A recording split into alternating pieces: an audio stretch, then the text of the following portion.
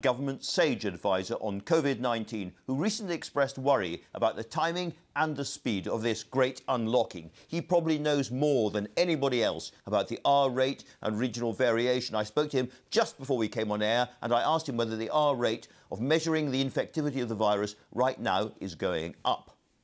What's happened over the last um, month or two, or a couple of months, is the epidemic has shrunk right down.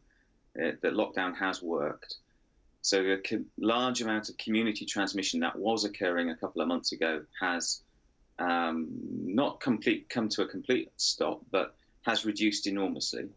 Um, but then the epidemic has has then been concentrated around the harder to control uh, parts, which are in hospitals and care homes in particular, so in closed settings. And because of that, it, the reproduction number, which reflects the overall um, average number of secondary cases each case generates has, has crept up a bit. And that's crept up a bit because it's been uh, in, in, those, those places where infection is spreads very efficiently in hospitals and care homes. And because that's become a greater fraction of the total, then the overall reproduction number has gone up a bit. So the big question now is is that because the epidemic is continuing to shrink around those harder to or those those settings where the where it's higher, where the reproduction number is tends to be a bit higher, or is it that the community transmission is going up a bit um, as well, or instead of? And at the moment, we don't really know the answer to that very well, unfortunately because Public Health England and the Cambridge University report thought that they said it's probably due to increasing mobility and mixing between households and in public and workplace settings. But you're not sure about that. I'm not sure about that. They actually have that kind of embedded in their model, that assumption, because they, they use the Google mobility data. I don't know if you're familiar with that, but but that uh, that has been going up. So mobility has been going up. But that doesn't necessarily mean that contact between individuals has been going up by anywhere near the same amount. And we have been at the, at the school, at the London School, we've been doing, we've been measuring people's contact behaviour over the last uh, two months or so, and that has crept up a titchy bit, a, a very small amount, but hasn't uh, hasn't returned to anywhere near uh, sort of pre-lockdown levels or anything like that. Now, in terms of the regional R numbers, the northwest, for instance, appears to be above 1, 1.1 or thereabouts, and the southwest of England on 1. Um, again, how concerned should people be about that? Are these really significant statistical variations?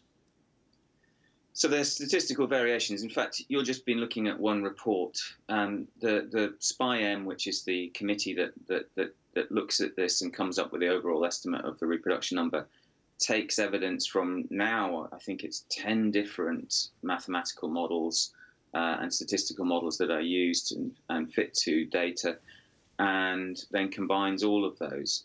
And if you do that, then the other models, the other nine, so you've been looking at one, the, the PHE slash Cambridge one, um, the other nine aren't quite so gloomy. Um, I have to say, you know, the overall, it does look like the overall reproduction number is going up and going up a little bit, only very, very marginally, and perhaps a little bit in other in other settings. It is creeping close to one in some places. I think we can't rule that out that it might be even at around one in some regions. Um, but I, I, w- I would stress that overall the assessment is it probably is still below one, probably everywhere you know, on average. You know, we know from the ONS survey that there are thousands of new infections every day in the community. So, um, you know, I, I, yeah. it's certainly not a time for complacency.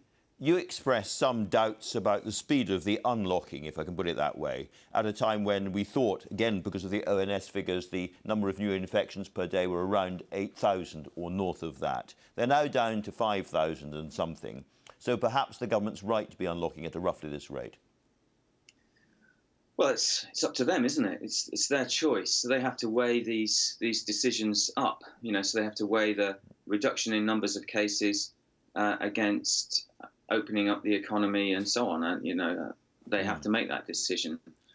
I would still prefer to see the cases come down lower than they are at the moment.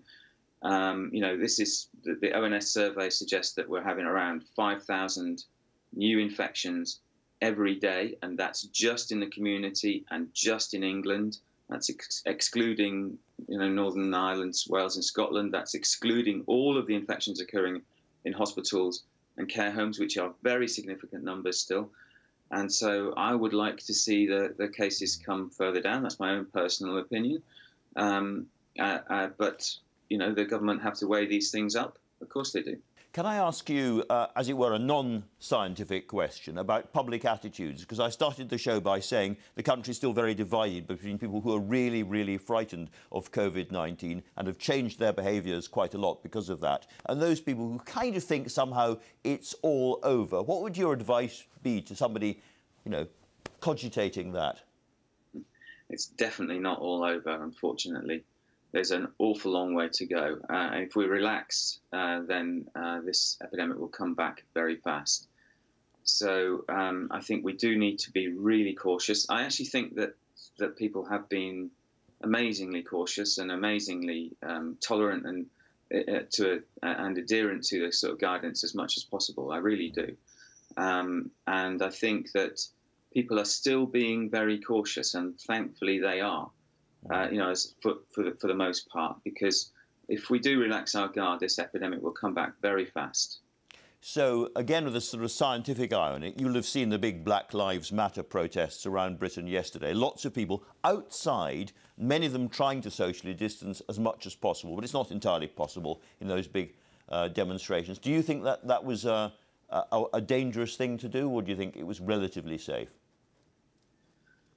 Um, that's a tricky one, isn't it? So it looks like outside is, is much less risky than, than inside, so um, so that's good.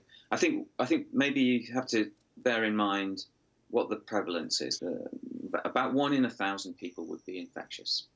So that means that um, you know if you have a crowd of a few thousand people, then you would expect some of those people to be infectious.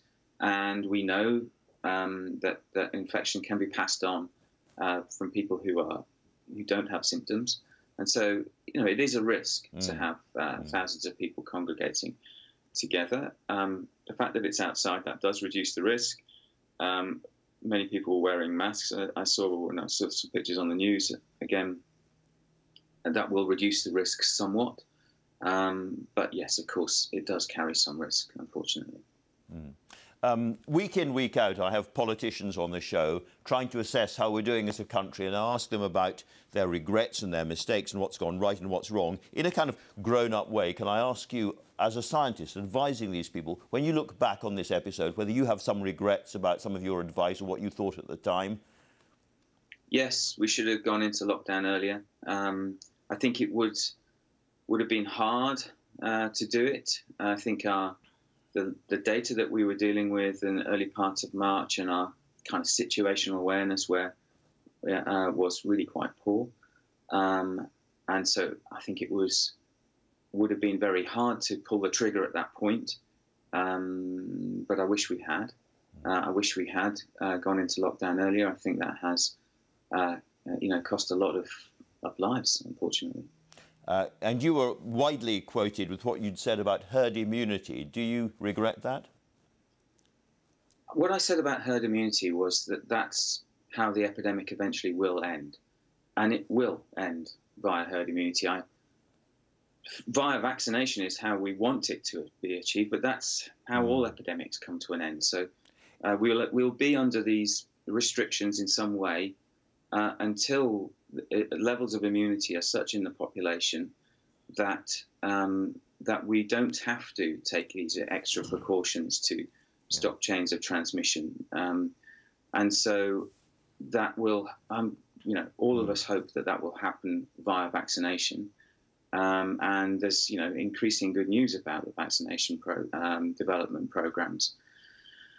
But um, it's the case. There is, hmm. you know, there is that's how it works. That's how all of the epidemics. That's how every epidemic works. That's not. Yeah. There's nothing special about this one. That's how measles epidemics come to an end.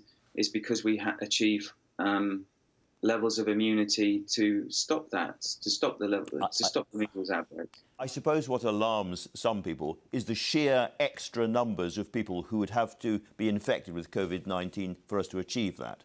Oh yeah, I mean, uh, awful. I mean, uh, nobody ever wanted to, to achieve that. It was just a statement of this is how this is how these things end. Um, it's not a matter mm. of uh, wanting it in any shape or form. That's really interesting. Professor Edmunds, thanks very much indeed for joining us this morning. You're welcome.